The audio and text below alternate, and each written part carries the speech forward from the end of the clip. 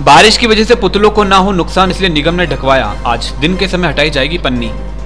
परसों के दिन अजमेर में हुई तेज बारिश के बाद पटेल मैदान में खड़े पुतले भीग चुके थे, जिसके बाद मेयर धर्मेंद्र गहलोत व अन्य निगम अधिकारी पटेल मैदान अवलोकन करने पहुँचे, जिसके बाद उन्होंने मीडिया से बात करते हुए बताया कि हालाँकि बारिश की वजह से इतना नुकसान नहीं हुआ है। पुतलों के अंदर घास फूस भी और पटाखे भी नहीं डाले गए थे। इस वजह से नुकसान नहीं हुआ। लेकिन फिर भी अगर बारिश आती है तो पुतलों को पॉलिथीन से ढकवाया जाएगा। और वही हुआ।